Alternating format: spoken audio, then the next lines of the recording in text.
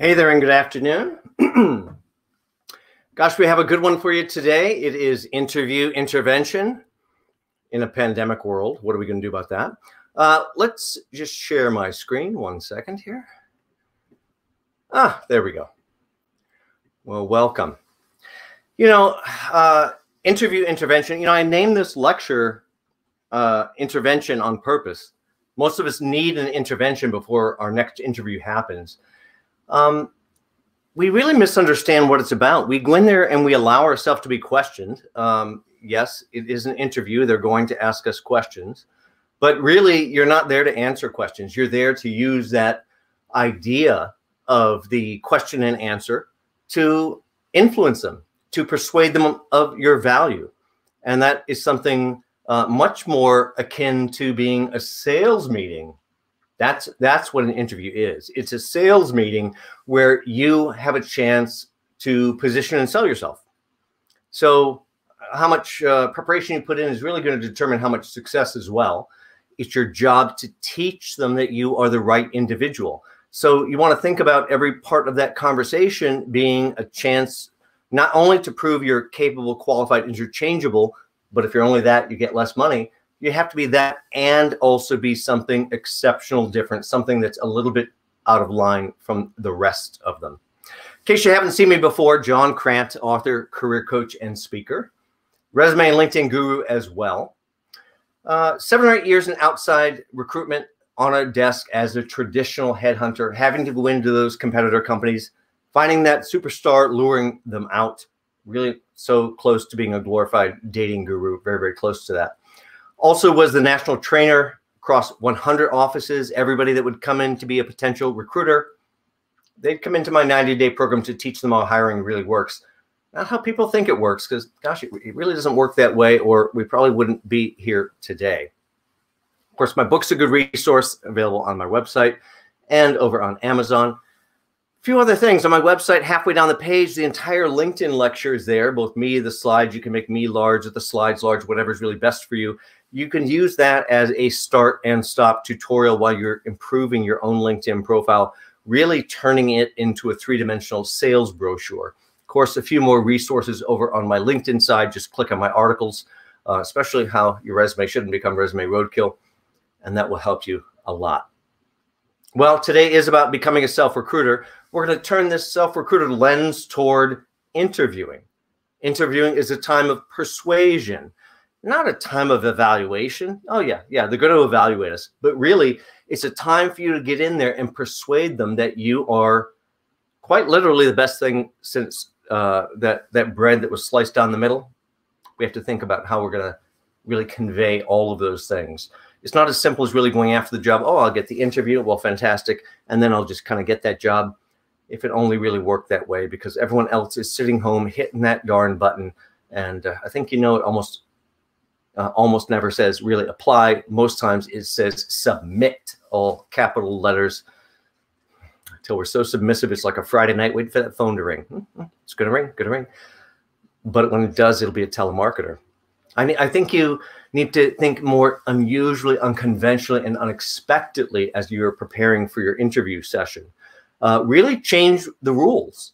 Subtitle of my book is Changing the Rules. Change any rule that doesn't work for you uh, where this product, where this product has to be positioned and marketed, put up on the shelf space, shelf space, and we have to draw attention. Here is the answer of what not to be: mediocre, of only moderate quality, not very good, ordinary, average, middling, middle of the road. I'm not going to read all the way through this one today, but my gosh, I get, I think you get the idea. Hate to say this is about half the workforce. That's part of the problem. So if there's a sunny side to that, a bright side to that, well, where's the bright side? Well, if you didn't connect the dots, you only have to be just a little tiny bit better than mediocre to really be better than almost everybody out there. And if you simply put a little heart, soul into whatever it is you do, you're naturally going to be that top one, two, three percent, and that's a game changer. Well, for the interview, we're going to have to understand what our story is. So, what is your story? And we're going to have to be ready to tell it potentially in person, you never know over the telephone but most likely today it's it's most times going to be a video interview because that's how we've evolved today And you have to be prepared for whatever technology they present you. Are they using Zoom? Are they using Meet? Are they using Teams? Are they using something else? Who knows what they're using? You're going to have to adapt to it and you're going to have to get yourself up to speed before the interview. Very, very important on that. Now, back to what I said don't answer questions unless you intend to or choose to. What you need to avoid in the interview is being tricked into regurgitating information. That's not why you're there. It's a sales presentation, and nothing should come out of your mouth unless you intend it to. So we're going to use this device of the Q&A really to position and sell ourselves and, uh, and hopefully elevate our brand value along the way. But that means we're going to have to know ourselves as a product. Most of us haven't looked really internally that clearly. Why is it you're more valuable than the next five or six people that are dying to have that job? Because you're going to have to outmaneuver those individuals. Now, the secret you may not like, assuming you're capable and qualified, I would never talk with anybody that I did not consider capable and qualified. So that is not the reason I hire you. And yet most job seekers spend their whole time really all about the capable and qualified part of the discussion, which really has very little to do with the decision process. The decision process is about chemistry and confidence. Chemistry, we're a good match. You're a good match for the team. You'll be up to speed quickly. You fit in nicely without ruffling other team members' feathers. Good chemistry piece. And confidence that if I roll the dice on you, I'm going to get something special. I don't know what I'm going to get, but I can imagine it's going to be different from you than from the others. Now, that's engagement. Well, it's closer to this type of engagement. You know, back to the story piece. Uh, we have to think about this because story, the word story presents a problem. We tend to think of storytelling, which we tend to associate with untruthfulness. Well, that's not what we're getting at. What we're getting at is I can tell you the same darn story in a very dull way that doesn't work, or I can tell you a story in a very interesting way. Now, your interesting parts, what makes you tick, could be part of your professional story. It could be part of your non-work life story and still be the reason you get hired. So we're going to have to integrate some of that into our storytelling, which probably requires a full paradigm shift in our approach to even how we enter the interview itself, be it in a physical room or in a, in a Zoom meeting room or something like that. In terms of all of our background, all of our story elements, oh, you probably have a certain way you've liked to tell the story for quite a long time. We need to unwind that uh, uh, rigid storytelling. And really, all those story components have to be filtered through a singular lens. Why is it going to be the best business decision if they hire me today? And does this piece of story help support and elevate that? Or is it just more detail? Still true, still true, but just more detail that dilutes the focus of the meeting. We're going to have to use our emotional intelligence quotient. That's our soft skills uh, to kind of close the gap on everything and to up our perceptiveness. So think of everything here, but really look at those last two, the friendliness and optimism now, I'm both the biggest optimist you'll ever find, Sagittarius, right here, and the biggest pessimist because I'm a trained recruiter. A trained recruiter is taught to disbelieve every single word that flows in through your ears while still keeping a pleasant demeanor. Mm. Did you hear that? Did you hear that? Ask them this. Yeah. Having a finely tuned listening agent in your brain will help you come up with some great questioning to test things. By the way, your interviewer is doing many of these same things at the same time. So communications mastery is really about incorporating that emotional intelligence piece and all the soft skills, all of our abilities to master putting people at ease. This is about influence. This is about the nuance in communication. Now, in terms of, of having a successful interview, hard to you ever you ever go see some comedy where there's no warm up for the audience? It's just a cold, there goes the curtain, and first person on stage. Does that first person get many laughs? Well, not as many as they probably deserve because the audience is not warmed up. Same on your interview. You need to warm up the audience to your value before you either literally or figuratively walk in that door. That means we're going to open and ask to connect with all those people I'm about to speak with. Or I may have done that as part of my approach process. But if I didn't do it as part of the approach process to get the interview, my gosh, I need to do it before the interview so they look at me. It's a chance. So This is sales process. I'm going to open and ask to connect. I'm going to communicate to them that you're about to meet me. A little gentle reminder. Give them a, a, a little bit of an awareness that I'm professionally appropriate, and of course, include a little stroke to their ego. Simple as this. Looking forward to meeting you on Tuesday. And of course, I'd love to add you to my professional network on LinkedIn. Accomplishes all of those things, by the way. So the goal here is to get them over to your LinkedIn profile. This idea of opening their profile triggers the marketing event of them looking at you. You are looking back at them on the six people looked at you. Oh, who, who? Oh, this guy. I'm going to see him on Tuesday. Your message to them about the connect is another chance for them to look at you. All this is designed so they click on your name. Suddenly they're on your sales brochure, your three-dimensional sales brochure, your LinkedIn profile that should be positioning and selling and really in my view telling much more detail than is ever ever on the resume. That's where you close the deal in people's minds on linkedin. So linkedin's going to be a, a, big piece of this getting them to look at you. By the way just because i asked someone to connect some of those folks may not want to connect with me until after well connect with john after tuesday. Totally fine uh, by the way, I love you to connect now, but the whole purpose is to get you to look at me, read about me before we're in session. Nudge, nudge, nudge. Small changes change everything, and, and certainly perception in this case. So let's make sure we line up as many dominoes as possible that could potentially fall our direction. It's your job to be persuasive. Now let's get in and we're going to teach you how to create a detailed interview plan. So each one of these areas we're going to come back to and go uh, a deep dive drill down of all the elements. But right now we're going to go through piece by piece. So in creating a proper interview plan, it's really the same thing as a sales plan, a sales meeting plan. I have to go in and sell to another company. Okay, where's your agenda? You didn't make an agenda? I don't think you'll do very well. So we're going to have to build an agenda even though they run the interview. We're going to have to do a needs analysis. We'll come back and tell you what each of these scary things are. We're going to have to select and customize our work life stories because I know you love your stories, but you have to have the right story for the right audience. And you're going to have to decide that in the moment during the interview. So that's going to be a big piece of how we get ready. If there's no buy sign, you can't simply leave the meeting you're going to have to face that concern and address it right now while you can overcome that objection. So that's a big thing to think about. The rest of the objections, hey, they're going to object to you here, they object to you there. Their job is to object to you. When someone says, well, you don't have this background, I'm excited inside because it's a chess game. I already understand they're testing me, they're probing me, they'd like to know something. And their accusation that I've never worked in this industry or field or whatever it might be they accuse me of, that's simply their tool to see how I'll overcome the objection, how I'll put my thoughts together, how I'll persuade them that I'm really the very best one. And then I'm going to have to close them so mentally they think of me as the very best one. We're going to give you all the details on this. Then, of course, out of that, hopefully either get the job or get the next interview. Now, let's drill down deeply under each of those. So, in terms of building an agenda, who are you going to meet? Do you know everyone you're going to meet? Well, give me a couple names couple names, email them back. I just emailed them this morning. Email them again.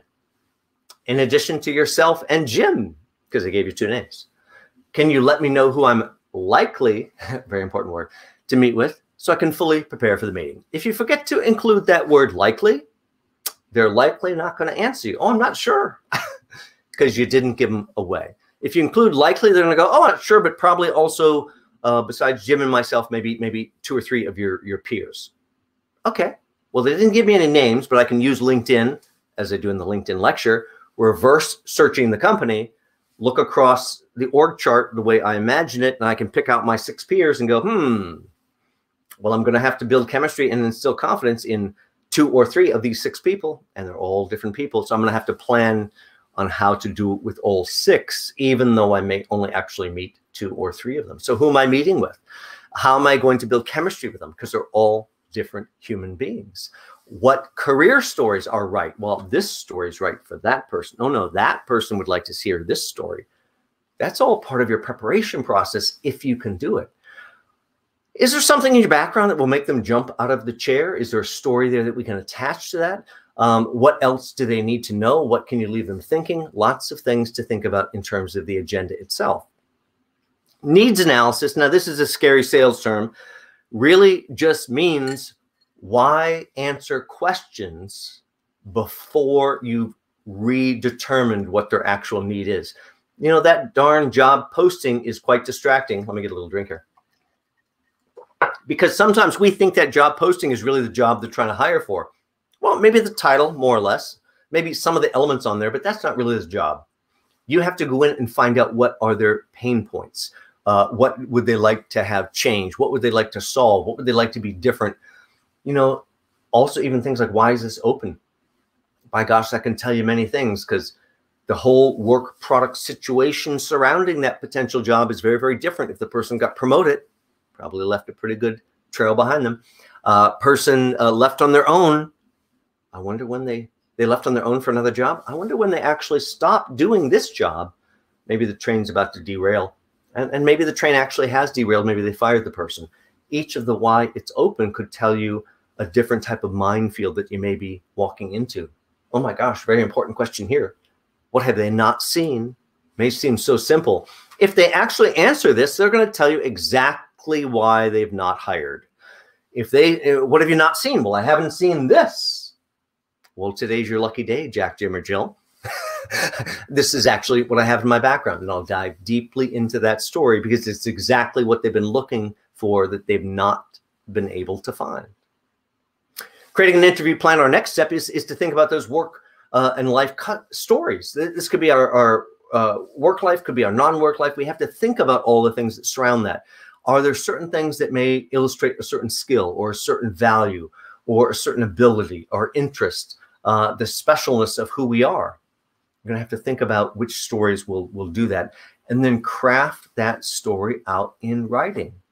When you're crafting it in writing, you're doing it as a script, which means it better not be grammatically perfect. Please don't murder the language. That's not what I'm suggesting.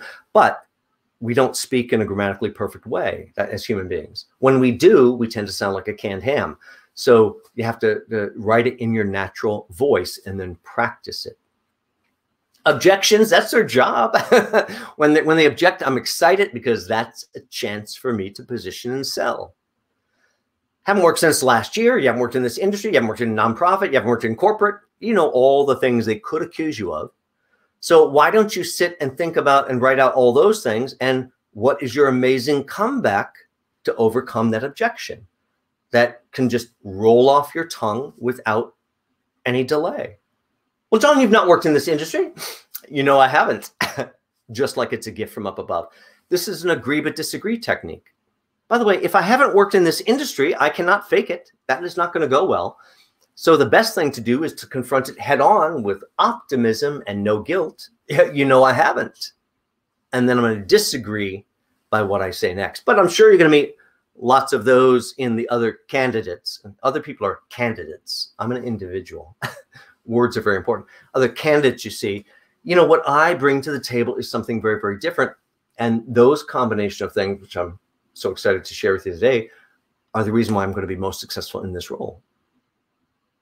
They're looking for you to convince them chemistry and confidence. So whatever it is, I think you get the idea of how to overcome this. Don't run away from it. But you know, that's not the unique identifier. That's not the unique thing that produces success. That's what they could get on any street corner looking for someone out of this field. You have to sell and be different. So whatever it may be, don't shy away from it. Just know that you have to craft a great way to overcome each objection. Put those objections to the side. Just because they object to you means they like you. Learn how to win the game. So closing questions, if there's no buy sign, by the way, there's only two buy signs. One buy sign is, gosh, I'd love to bring you back next week to meet so and so. Great. Indication of the next interview is going to happen for you. They do not have to pick the date and time right now. They've already indicated it's going to happen for John. Great. I got a buy sign. The only other indicator is, gosh, I'd, I'd love to get your, your references to, to move toward offer. A move toward offer, absolutely only other buy sign if your meeting begins to close something like this, oh my gosh, John, what an amazing discussion we've had. I, I, can't believe where the time went. This is you have a wonderful background. I think I think you could be amazingly valuable. Sounds so great so far, right? Until they go, but we have a few more people to see. Uh, I, I, probably have a decision in six to eight weeks. I, I you know, we'll, we'll, we'll call you. Don't call us, and, and never talk to you again. okay. Well, that didn't go very well. If you get anything that indicates that you did not win, doesn't mean you lost yet, but you didn't win yet. Then, if this was a physical interview, I always tell people, why would you get up and leave? I don't mean to say they're so long, they're going, uh, security. That's not going to help us either. But why would we walk away from the discussion? Let's overcome that. Maybe, maybe we're going to use closing questions to help them visualize this whole decision process as a two-dimensional race on a timeline. And they're also going to think about our relationship to it. You know, Jack, what have you what have you not heard or or what have we not discussed? Because people's brains are wired differently, positive, negative there, that will help you in your decision process for this role. Well, John, I, I, I think you're this or that, and they're going to go in on something that they like. Now, this is a pretty good one, by the way. Never quite enough for what I might like to do. So if if I were doing it myself, I might go, you know, Jack, what what have you not heard, or what have we not discussed that would help you in your selection of me as the very best individual for this role? Oh, I know that slide says candidate, but made that slide a long time ago. Individual. Always make it individual when you're speaking about yourself. Everybody else is a candidate with a little bit of extra da -da -da on the D's. Because diamond doesn't it's like cat hair in your mouth. Get rid of those people. They will instantly think of the timeline, you, and what's wrong with you. I know that's scary. But you know what? If they're already not choosing you, if you already didn't win, I'd rather hear what's wrong with me right now while I'm in the discussion so I can overcome that. That only requires confidence and also keep in mind that they wouldn't waste oxygen on you if they didn't think, oh, maybe, maybe, maybe. So all these tests and questions, objections, that's because they're trying to prove to themselves that you are the right person. So let's get ourselves out of the mindset that they're trying to disqualify us. Some of them, of course, are, and use it in a very, very different way. That's the basics of building an interview plan. Let's take you through the interview checklist itself. This is just another way to kind of think about some of those same things. First off, the checklist requires we do our research. That's about the job, which you can probably write a better job description that for that job yourself. I mean, you think you're qualified, put the job description aside. Why don't you write out what you think that job description should be? Then add back a few, maybe a few tidbits out of the job posting maybe maybe why don't we use LinkedIn? And if your LinkedIn network is large enough, you can probably pull everybody that's ever held this job before. How do they talk about that job? Oh, great. If we were really thinking, we could go to the direct competitor companies, pull the same person doing the job at the direct competitor anywhere in the country. It's for research. How do they talk about it at the competitor? I don't care that they do it differently at the competitor people that have done the job here, people that have done the job with the competitor, plus your own understanding of this job, all that combined together, you'd be transformed just in the ability to hold the conversation together. That's the job itself. Research the company, read every word of the website. I hope you understand that you have to copy and paste certain phrases so you can collect them on a Word document and begin to practice how to sound like their own employee, begin to use their own language to make a stronger bond. Company culture, much harder to get to. You may not even figure that part out until you actually work there. Needs analysis, scary, scary, scary. We covered it. Just don't answer too many questions. John, tell me about yourself. They asked me before I could do the needs analysis. I'd love to use agree but disagree technique. I'd love to. Before I do, I'd like to make sure my answers are as focused and valuable as possible for you. Can't let them think you didn't do homework Of course, I've done my homework. I've read the job posting and and everything else and done my research, but I'd love to hear, stroke the ego, love to hear from your perspective, your opinion, your advice. You know, what is going to be most critical to get control of in the first 30 to 60 days as I step into this role? First, notice a 30 to 60 day time frame, very important also as I step into this role, oh, I'm I am verbally projecting myself. They are imagining me, John, stepping into this role right now. 30 to 60 days are going to tell you what's on fire, which is not listed in the job posting. They just don't put that kind of stuff out there, the dirty laundry.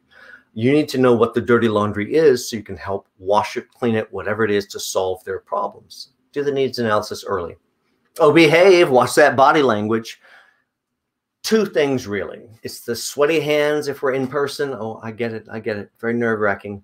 Well, unclench your hands, keep them open in, in the air. If you need to sit down, gently, gently lie them on top of some fabric, gently. Never let them see this stuff. Oh, oh, hi. Doesn't work very well. The other body language thing is don't eyeball people. Oh, I know you want this job. I know you know, but you can't be one of those statues that never looks away no matter where you go. It's like you have to look and talk with them a little bit, then look off to the air to think a little bit, even though you don't need to. Then look back and give them a little more love, give them a little more space. You have to be careful the body language. Very, very important.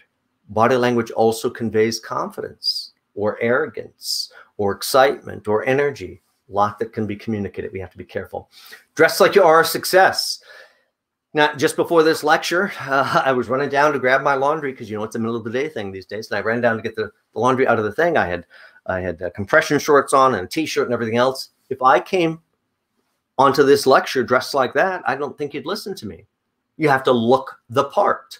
So even in your normal work life, if you no longer have to dress, this is your chance, your one chance to make sure you look like a million bucks. So that one time a year they have the board member visiting or somebody important coming to the office, some big client that oh, you're going to fit in and look just perfectly. Demonstrate and show them. If someone told you not to dress for the interview, but then you showed up looking like a million bucks, they go, "Oh, didn't they tell you you didn't have to dress?" Oh, oh, absolutely, absolutely. But you know, I have another meeting right after this one with somebody else. that's how you, without saying with somebody else, that's how you also make them understand that you're a hot commodity and maybe they should have urgency as they pursue you. Are you listening? Are you listening? Going to give you a lot to think about today, and I already have, but you'll forget to listen because you're running down that list. Your major job, once you've done all the homework, is to listen on multiple levels, to hear the actual words, the words that aren't said, hear what's in between the words, and that's going to help guide you. You need to sell yourself the whole time. I know you're there to evaluate, but you cannot let them see you evaluate. This is a date. If I came in the room with a bunch of people saying, now, I don't know, I'm not, I'm not sure if I want to date you, but you know, just tell me a little bit about your background and why are you interesting and why should I, why should I consider? I don't think there's going to be a date with this guy. Not going to happen. oh my gosh, I had to come over and meet you. Oh, your eyes, your dreamy hair, whatever it might be. You get that. It's a date the whole time. You're there to sell yourself, even, excuse me, even though you're evaluating. Would you like more money? Give you a little secret. John Crant would like more money. Hey, that's a reality. Uh, there's nothing wrong with that. Thing to remember is if they detect that you want more money, they don't want to give it to you. If they detect that you need more money, they're much, much more likely to try to figure out how to give it to you. So the how you win the whole money discussion is simple. Don't talk about money. And of course, my clients go, but when, when, did we miss one of the directives here? Don't talk about money. They will never get me to talk about money. I will walk out the door and lose this opportunity right now before I will tell them how little to pay me. Because any discussion of money is actually how little can I pay you, no matter how nicely it's put. By the way, under time constraint today, so I'm not going to go through everything around money, but you can pull up any one of my other interview intervention lectures and zoom right to this spot with slide number seven and get a much lengthier discussion of how you handle the money discussion if it comes up. Your goal, though, is to have it not come up. One of my clients went through three or four face-to-face interviews and then they went had and go do a six panel interview and then they're like hey can you come on up and do an offsite coffee that's another interview and then we thought we are getting the call and they're like oh we're having an open house on saturday why don't you come work the open house? What, like all day Saturday? Oh, I'd, I'd love to. or you're not going to get the job. So we did. And, and, then only after that, suddenly we got the call, and the manager is so exasperated, going, you're not in the system. Masterful. My client also English as a second language. And even though they're English as a second language, missing a certain percentage of all the content going by their ears, they still successfully avoided any money discussion through all those rounds of interview. It's certainly possible. Time to get it right. There's two things here. First off, be on time for your interview. If it's technological, I hope you're ready. Don't, don't get thrown off by technology. If it's in person, show up in the area 30 minutes in advance. Not their office, not their office. Uh, sit down, review your notes, collect yourself, make sure you have the right amount of caffeine, uh, carbohydrates, whatever you need to get through uh, your interview itself and keep your energy levels balanced. And then allow just enough time to get through building security and floor security. So you arrive in their office five to 15 minutes before the interview, not one moment early. You may show up at 1035 for 11 o'clock interview and think that's great. And your 11 o'clock's here. Oh, my day's already out of control. Now I can't leave you sitting out there 25 minutes. I have to put on a happy face. Oh, hi, nice to see you. Uh, I'll see you right at 11. Can't wait for a discussion. Oh, you're already messing up my day because you didn't think about courtesy and demonstration. You only thought about, I'll be eager. Eager doesn't always get it. Next step opportunity, the whole time you're talking about excitement. And lastly, you have to understand to ask for the job. I don't mean literally, I want this job, although there may be a time I might say that. But most of it is as we come to the conclusion of the interview, it's as simple as going, Gosh, Jack, Jim, or Jill, I'm, I'm so excited by what we discussed. What's our next step? Uh, well, John, we're going to walk you down the hall to meet Jim, which was on the agenda. yes, yes. Even though I may know what's literally coming next, I have to ask it. It's very similar in the brain when they get together for something called the round table, you know, after they meet six to eight people, they're going to get together for a round table. Those resumes fly across the table. What do we think? What do we think of these people? You know who they remember? Oh, I can't. I, I'm so excited. What's our next step? What's our next step? That's the person they remember. So let's make sure to ask for the job at the end. Don't be tentative. It's a date. I love this date. Exactly.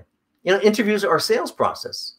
That's what it really is. We have to take back control because it's a sales process. And because it's a sales process, it's very easy for us to make our case if we don't fall in the trap of questions and answers or letting it be like an interrogation or something like that. Now, all things being equal, people are hired because of chemistry, assuming you're capable and qualified. So we have to talk a little bit about building chemistry, this, this work love connection thing of they cannot live without our skill set well, just like an actual date, it's got to be about them before it's ever about you. Walk in the room, the room to get a date, and there's a whole bunch of people. Hey, who'd like to date me? Would like to date me? Would like to date me? And me, me, me, me, me. Think anybody wants to date Mr. Me? Not going to happen. So, what you need to do is show real and genuine, genuine interest, both in the company and, and, and everything else. It can't be that, oh, I want that job. That's about you. It's a date it's all about yes how you could add value to the job. That's about them. Slight bit of angular difference there. Of course researching the company job and more that was up on the other slide having your marketing materials ready. You know when it's time to sell all that stuff has to be ready. So i hope your resume really is the essence and value of your career on a single sheet of paper that within five seconds makes them jump out of the chair.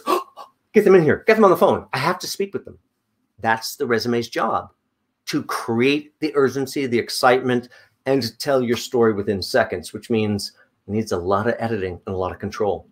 Full disclosure, when I'm working on a client's resume, there is not a single sentence anywhere on the resume. We're in a world where people no longer read. Why would you put sentences on a resume? Doesn't make sense. You have to distill that down to concept communication that can be absorbed, not read, absorbed within seconds. Check out my resume renovation lecture. It will help you there. Uh, in terms of uh, LinkedIn, LinkedIn lecture, it'll help you a lot. That's another way to extend your value, help close the deal. But really, all of your materials have to be taken into account. That's your messaging, uh, your emails, everything. Your leave behind, if you leave behind something during the email.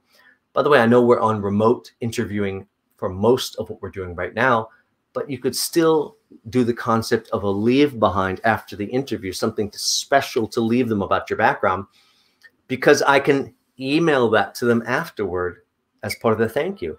And then they have some document with all of our great selling points that they could walk down the hall and talk to others about. It's really a sales tool to help them.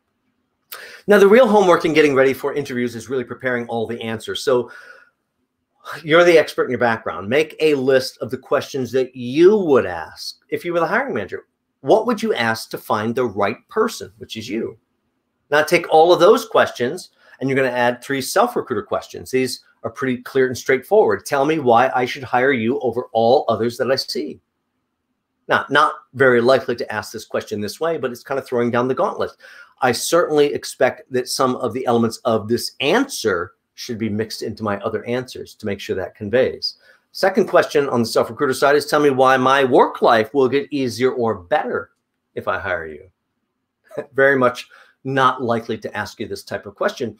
But my gosh, the elements of this answer must be integrated into your other answers because if you make my life easier or better, I'm hiring you today. You didn't forget it was a date and it was all about me and how it gets better for me. Probably get better for you too if it gets better for me. Last one, of course, you really already know. Why is it going to be the best business decision that I make today if I choose to hire you? Once again, not likely to ask this question directly, but I sure hope you have elements of that answer mixed in all over the place. Now, practice makes perfect. Very few people can be really great off the cuff. You're going to have to get with a coach, get with a friend, and practice, practice, practice until you're blue in the face. And if you need a good coach, I, I know where to find one. By the way, I should mention whether it's reinventing resume, reinventing and building out full LinkedIn three dimensional sales brochure profiles, whether it's coaching on interviewing, all my services are over on the Self Recruiter website right under the services tab. If you need to, to chat before we uh, you know which package is really the right one for you, send me a quick email. We'll set up a time to talk. Follow up. Your follow up is in, is critically important. Your thank you notes. It is shocking to me how few people bother to send a thank you note. You want to be a standout? Just send a darn thank you note. And my gosh, you'll automatically be in a very high percentage uh, of the top of the list because so few people do it. But your thank you notes can also solve problems in advance if you do a little debrief after the interview. This is a self diagnosis piece. So we're going to do this debrief. This is like you feel those interviews are a series of questions that really are cross examination and interrogation. You know, oh my gosh. Yeah, we cross examine ourselves to find out the good, the bad, the ugly, what went well, what went poorly, where did I stick my foot in my mouth? Oh my gosh. You know, in fact, I might have even avoided speaking about something very, very important out of fear. Oh, I don't want to talk about that subject because I don't have a very deep knowledge. And yet sometimes that's an important piece that has to be discussed or they won't hire us. Most important question you save till last. There's no thinking about this. This is a regurgitated gut reaction. Ask this after every single interview, and very quickly you will train your gut to regurgitate just the right information. Here's the question If they don't move forward with you, or if they don't hire you, what's the reason? There's no thought. Oh, maybe because I'm weak in area A. Okay, well, let's think about that. Is area A important to this role? Yes. Did you talk about area A in the interview? Uh, no, I was. I, I was afraid I've only worked on two projects. Oh, okay. Now we backed ourselves into a corner. No wonder they don't feel confident about us. So um, we have to overcome this in the thank you note process. After thanking them, and please, please don't thank people ever, ever again for their time. That makes you subservient to them. You have to be absolutely equal. So thank them for their great insights or the discussion, blah, blah, blah. And then segue to a, a new paragraph. By the way, we didn't have a lot of opportunity to discuss Area A, where I've worked on projects such as this and that. You know, if you'd like to discuss that, don't hesitate to reach out at any time. Best, John, click send. Now, I didn't confess because it's not confessional. It's truthful, not confessional. I didn't confess it's the only two projects I've worked on. Yeah, they probably think those are representative. I never said that. Those are two projects like this or that, which was like, absolutely. This actually saved one of my promotions a couple decades ago. yeah, a couple decades ago, absolutely.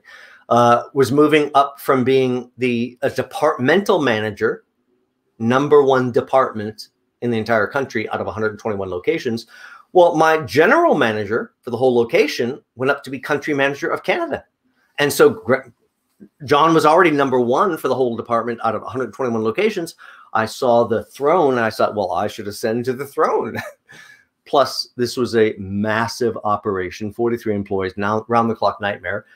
It wasn't like the small little locations that were all around. This is one of the big monster locations. And since I was proven on the, the P&L in my department, I thought, gosh, I should take that job. And uh, had a great discussion. This was all before my time as a, as a recruiter, didn't really know about interviewing, didn't really know about hiring and firing, even though I'd hired and fired many people in multiple roles. Doesn't mean I knew it, what I was doing. Uh, gut instinct, essentially. And so I thought I did pretty well. And I went back to my location. I called my spy. Oh, very good to have a spy. Called my spy in headquarters, going, "Oh yeah, I think it went well. I think it went well." No, no, I, I they're in there arguing about you right now. Something about your vision for the store. How could I have forgotten to communicate my vision for the store? So fired off exactly one of these thank you notes. And I said, "Oh, thank you for the great discussion, the insights, blah blah blah." Yeah, I'm very good with the soft skills, even though I didn't know what I was doing. And, and then I said, we didn't have a lot of opportunity to talk about my vision for the store. If you'd like to talk about that, reach out at any time. Best, John, click send. And in a panic, bullet pointing out that vision for the store. Gonna call me, gonna call me in a minute, gonna call me in a minute. Never called me. Got the job. Ah, look, he has a vision for the store. It doesn't really matter. He can't change anything anyway. But he has a vision. Or save my bacon on that one. Wow, I'm very excited uh, by what I've, we've discussed and how I can contribute to the team. What's the next step? Ask for the job. Now let's get over to the video interviewing side and what we need to do there because that's the world we live in today. Your video might be Zoom or Meet or who knows what other technology is just around the corner. You have to master those and be comfortable in those, even if you're not. Could be scheduled, unscheduled, could be in person. Well, not as likely these days your job uh, is, is, to convey confidence. And most times that's going to be over a video conference. So, in getting ourselves ready in a COVID 19 era uh, of interviewing, we have to think about well, what are we going to do a little differently? How are we going to get this all to work? It's still about chemistry and confidence, but we have to do it at a distance. So, I'm going to go a little bit smaller here and pull these center screen for you here. There we go. A little bit better here. Um, so again, it's about chemistry and confidence winning the race. I, I, don't really feel the chemistry. I don't really feel the confidence. I don't know if I see that here. And I'm not even sure this person uh, knows they're on a job interview, right? So if they if they don't work for a baseball team or something along those lines, um, something seems quite amiss here. Well, chemistry and confidence win the race. Do we see it? Do we see it? Well, I, I'm not really feeling the chemistry, not really feeling the confidence. I don't really see it here. I can't really even see you. I, I can see maybe the sky out your window and, and you hunched over, huddled.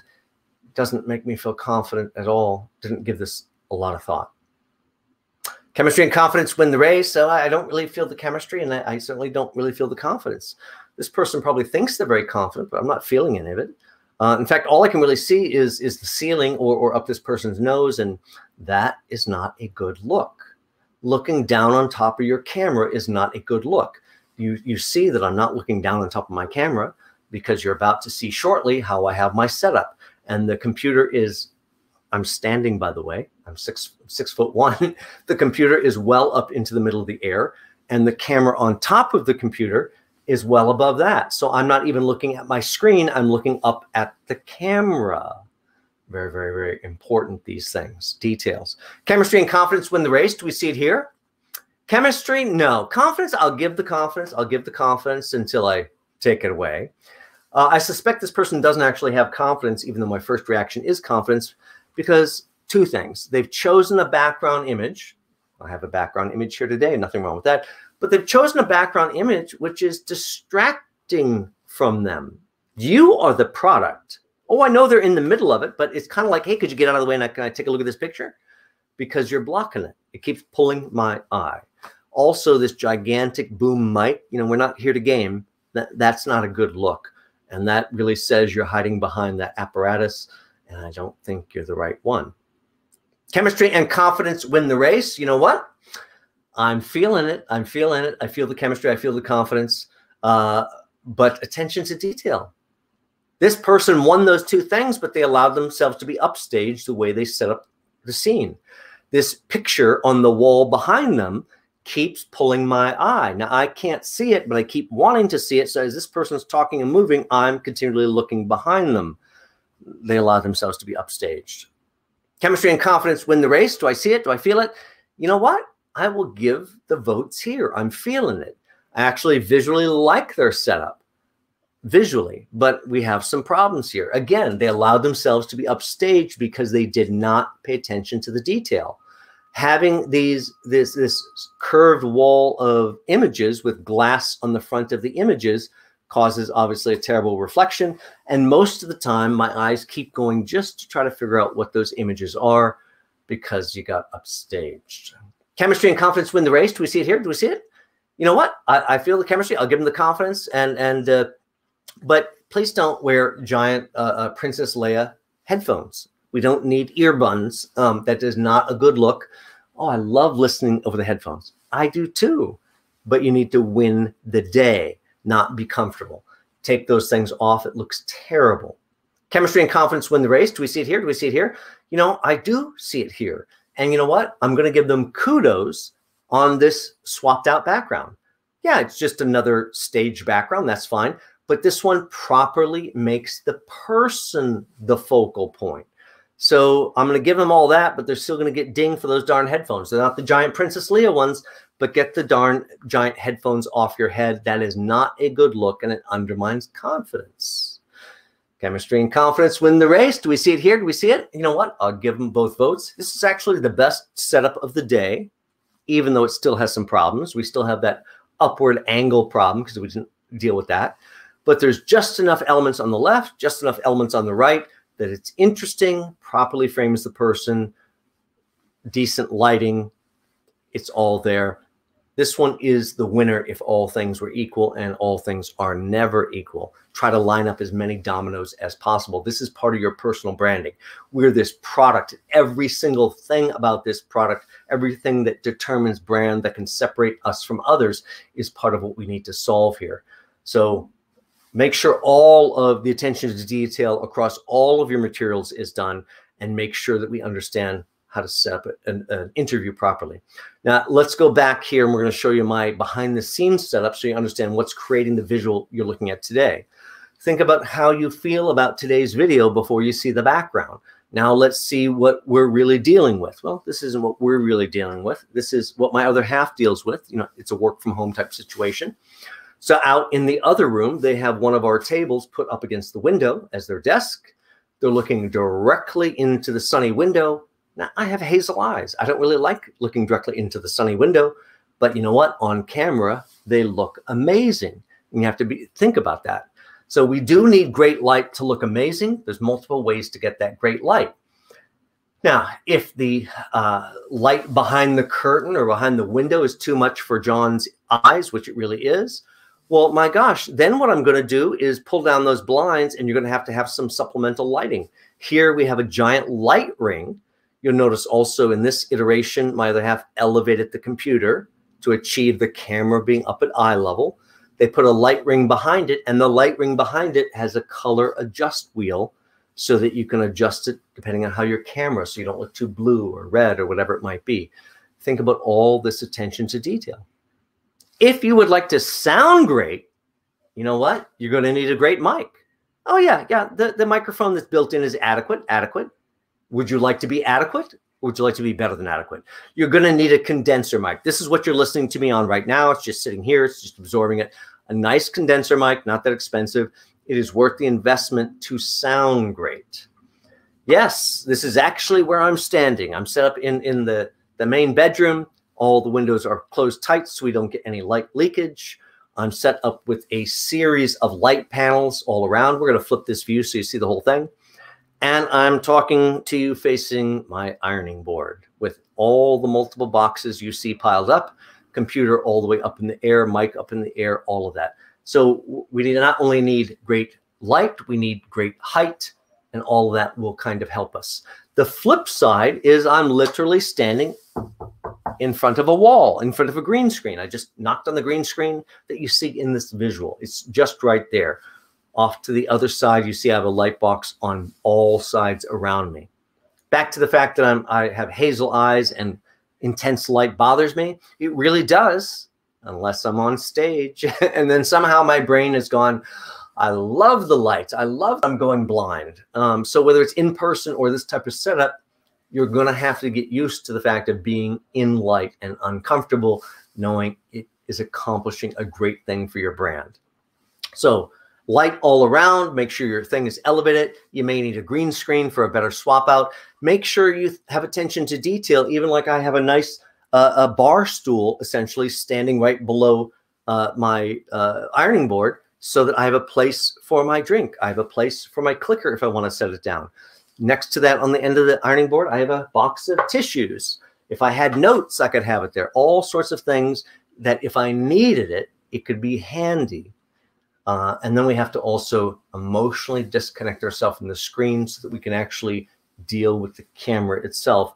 That feels a little bit like flying without a safety net, but that's where we're going to have to get comfortable. Now, all that, let's think about how we're going to improve our piece.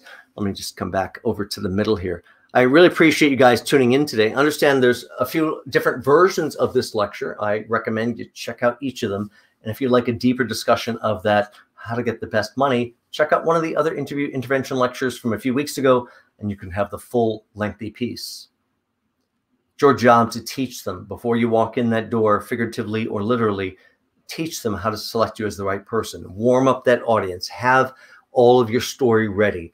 Understand it's a date and really, it's your job, even in the interview process, to discover their timeline for their process, timeline for the decision. When would they love people on board? When are they going to be in deep trouble, uh, painful trouble somehow, if they don't have the person? All of that discussion that you could extract in conversation will help you better understand what should by next step or next step after that, or even after that be. Thank you guys for tuning in. If you need help prepping for your next interview, or if your uh, LinkedIn profile is a shell and not really a three dimensional sales brochure, or if your resume is stuck in a very old format, not really uh, producing the essence and value of your career that can be absorbed within seconds, I think you know exactly who you should work with. Uh, selfrecruiter.com, everything's over under the services tab, and I will talk to you guys soon. Take care. See you guys on Thursday at 12 noon. Take care.